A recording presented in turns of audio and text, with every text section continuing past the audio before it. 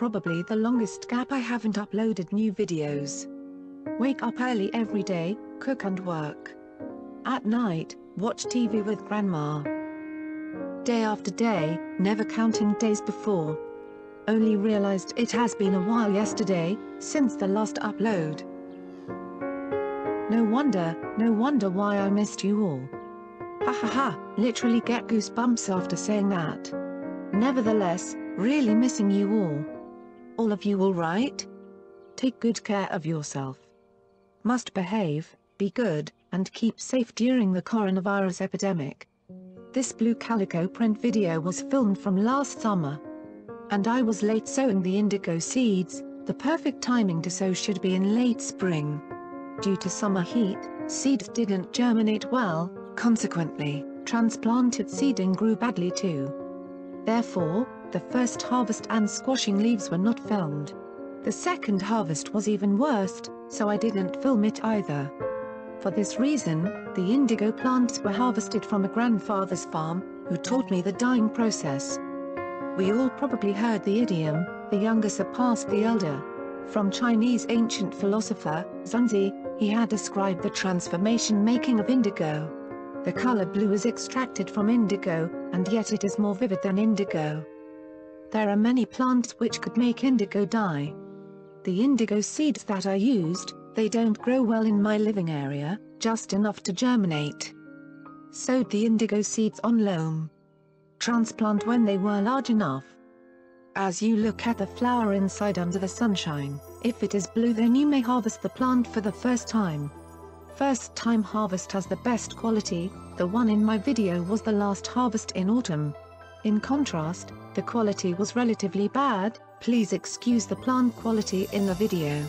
This is filmed mainly because of letting you know the process of indigo extraction, I would be lazy to film otherwise. After harvesting, soak the plant in water for the pigment usually takes a day or two in summer. After filtering, add lime powder into it then mix it. This process called the extraction of indigo. When the liquid oxidates from indigo into blue, can therefore called completed. In this process you will need to stir consistently, afterward let it rest and the blue pigment will sink at the bottom. Then strain the surplus water. And the rest in plant dye we called indigo dye also called blue dye, we named it, Lan Ni. I have used around 30 kilograms of plants.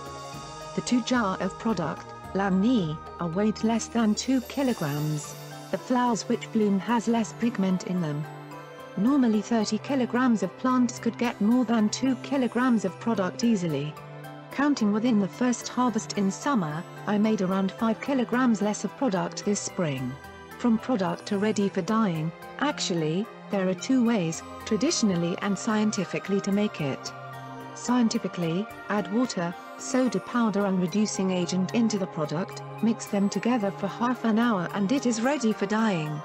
On the other hand, traditional way is relatively slow, it depends on weather. Diluting lanni with 35 degrees Celsius water then mix with rice wine adding ash of soybean stalk and rest for fermentation.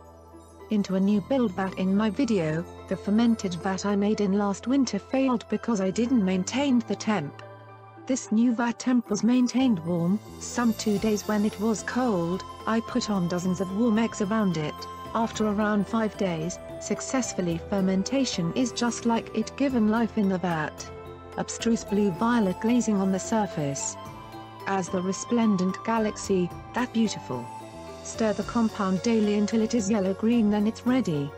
In fact, furthermore details are pointless. You will understand it only if you actually print and make by yourself. Of course, this may help with the quality of the product. In term of indigo dyeing, I am still a beginner. I realize that so much have been written, filled up a 10,000 pixels paper without the main topic, straight to the points next. During the fermentation I crafted a few blue calico board. Blue calico craft, are our precious intangible cultural heritage in China. More than 1,000 years of history, passed from generations until now. Info is on any search engine then I wrote, the principle of blue calico print.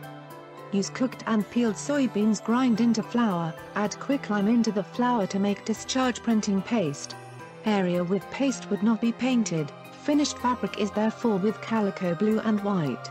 As you may know that my bedroom and washroom don't have door in between, so I made a door curtain, because of the gradual color change I wanted that batik printing offer, therefore I used it.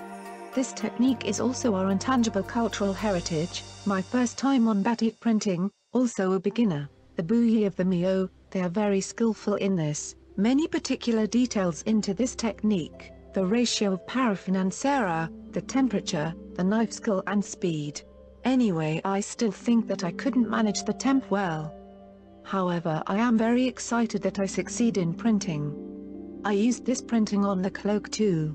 Writing till here I feel relieved, finished another one in my bucket list, such a long journey. I will tidy up a process list when I am free, about indigo dyeing, blue calico printing, and people and things I wanted to write. Long writing, if anyone read till here must be my real love, must give you a reward of my vigorous kiss. Always loving me, thank you very much. Still, be safe. Wash hands regularly, ventilating, avoid crowded area, keep it up, we are almost there, love you all.